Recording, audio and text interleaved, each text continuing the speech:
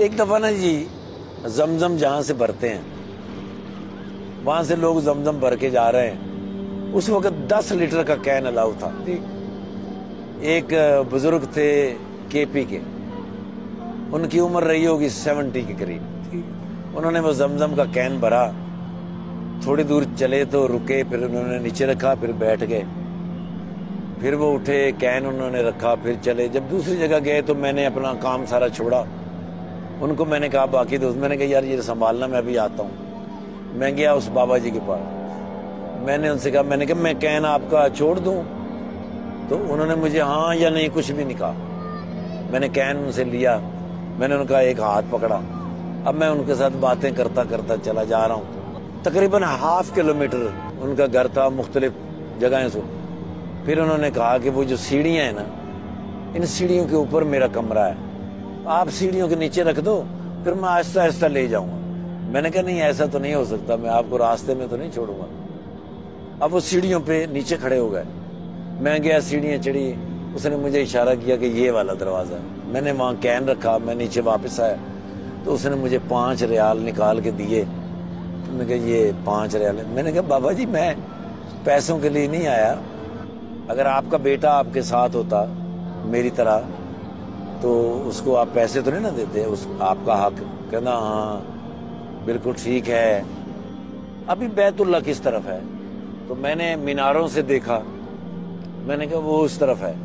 वो बाबे ने ऐसे टर्न किया, ऐसे जोली उठाई और उसने मीनारों की तरफ़, बैतुल्ला की तरफ़ कहा, या खुदाया पाका, मेरे इस हज का सवाब इसको दे दे, मैं फिर कभी आ जाऊँगा।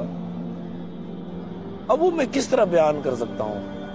उस उस बाबे को मैं किस तरह बयान कर सकता हूँ? मैं उनसे मिलके वापसी के लिए चला।